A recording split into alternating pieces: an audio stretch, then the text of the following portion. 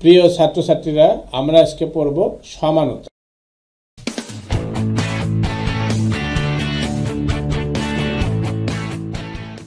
সুপ্রিয় ছাত্র বন্ধুরা, আমরা আজকে পড়ব মেটামারিজম।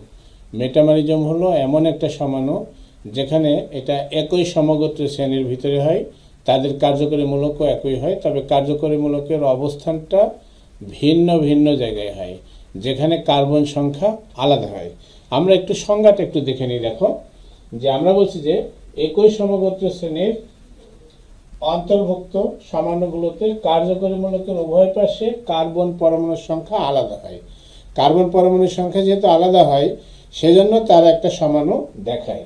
এ ধরনের সমাণুকে আমরা বলছি মেটামারিজম এবং এ ধরনের দুটা সমাণুকে পরস্পর মেটামার বলছি। আমরা একটু এক্সাম্পল দেখি।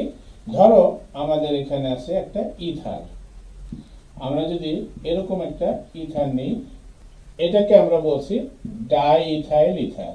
দেখো, এটাকে আমরা বলছি যে di ethyl ether di ethyl ether. এখানে কার্যকারীমূলক অক্সিজেন আছে। কার্যকারী মূলক অক্সিজেন আছে দুটা কার্বনের পরে। আমরা যদি এর সমানতা দেখি, এর সমানতা দেখলে আমরা দেখব যে কার্যকরী মূলকটা যদি একটা কার্বনের পরে দিই আমরা, তাহলে এটা একটা সমানু পাওয়া যাবে। দেখো, এটাকে আমরা বলছি মিথাইল ইথাইল ইথার। এটাকে আমরা বলছি যে methyl ethyl ether. Methyl ethyl ether. তাহলে এখানে লক্ষ্য করো যে আমরা বলছি যে এখানে এই যে কার্যকরী মূলকটা আছে, এই কার্যকরী মূলকটার অবস্থান দেখো, এখানে এই পাশের দুটা কার্বন আছে, এই পাশের দুটা কার্বন আছে।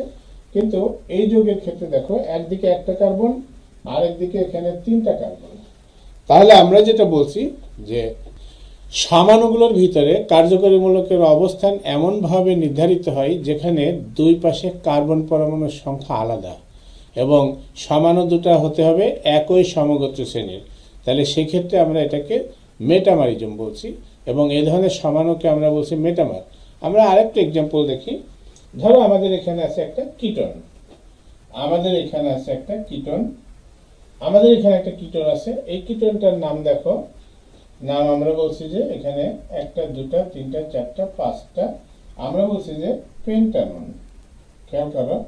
এটাকে আমরা বলছি যে পেন্টানন টু তাহলে এখানে পেন্টানন টুতে আমরা কার্যকরীমূলক দেখছি, একটা কার্বনের পরে।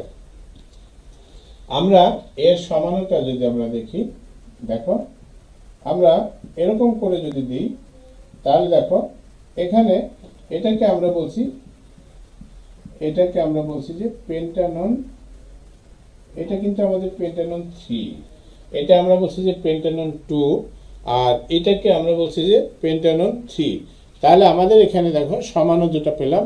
এই সমানো দুটা হলো মেটামারিজম এখানে এটা এবং এটা পরস্পরকে আমরা বলছি মেটামার। আমরা আরেকটা এক্সাম্পল দেখি। আমরা যদি সেকেন্ডারি তোমার সেকেন্ডারি অ্যামিনের ক্ষেত্রে দেখি তাহলে ওই এক্সাম্পলটা আমরা দিতে পারব। যেমন আমাদের যদি এখানে এরকম একটা যৌগ থাকে, দেখো। আমরা এখানে একটা অ্যামিন মূলক লিখলাম এরকম। দেখো। এটা একটা সেকেন্ডারি অ্যামিন দেখো। এখানে অ্যামিনো মূলকটা আছে, দুই নম্বর, এক নম্বর কার্বনের পরে। এর যদি আমরা সমানতা লিখি, দেখো, এখানে আমরা সমানতা যদি এভাবে লিখি, এখানে আমাদের যে কার্যকরীমূলকটা আছে, সেই কার্যকরীমূলকটা কিন্তু দুই নম্বর কার্বনের পরে। তাহলে এখানে আমরা যেটা বলছি, সেটা হলো তোমার, এটা একটা অ্যামিন সেকেন্ডারি অ্যামিন। এই সেকেন্ডারি অ্যামিনের আমরা নামকরণ করতে পারি এভাবে। দেখো one methyl one methyl amino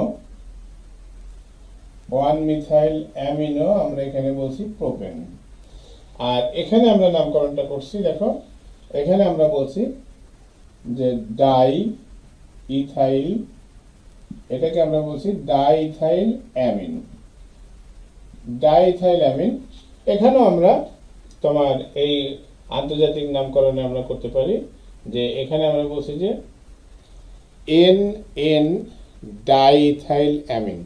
তাহলে বন্ধুরা, আমরা এটাকে, এই সমানুগুলোকে আমরা বলছি যে মেটামারিজম।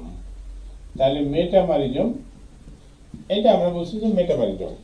তাহলে আমরা আজকে যেটা পড়লাম, সেটা হলো যে সমানতার একটা অংশ যেটাকে আমরা বলছি মেটামারিজম তাহলে মেটামারিজমটা কি?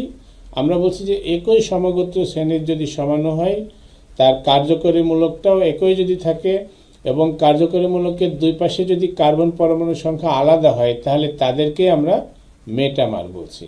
এবং মেটামারের আমরা এখানে তিন জোড়া এক্সাম্পল দিয়েছি, দেখো। ডাই ইথাইল ইথার এটা আর মিথাইল ইথাইল ইথার এখানে দেখো আমাদের যে, এখানে আমাদের যে কার্যকরীমূলক, কার্যকরীমূলকটা সবাই লক্ষ্য করো যে কার্যকরীমূলকটা কিন্তু আমাদের এখানে পজিশনটা আলাদা আছে। দুই পাশে কার্বন সংখ্যাটা আলাদা আছে। আমরা দ্বিতীয় ক্ষেত্রে দেখি, এখানে কীটনমূলক দেখো, কীটনমূলকের দুই পাশে কার্বন সংখ্যা আলাদা আছে এবং এই দুটো কিন্তু একই সমগোত্র শ্রেণির, অর্থাৎ কীটন কীটন গ্রুপের অন্তর্ভুক্ত। এটা আমরা বলছি যে এটা সেকেন্ডারি অ্যামিন এই সেকেন্ডারি অ্যামিনগুলোও এরা কিন্তু একই সমগোত্র শ্রেণীভুক্ত। তাহলে একই সমগোত্র শ্রেণীভুক্ত এই ধরনের আমরা সমানগুলোকে আমরা বলছি মেটামারিজম।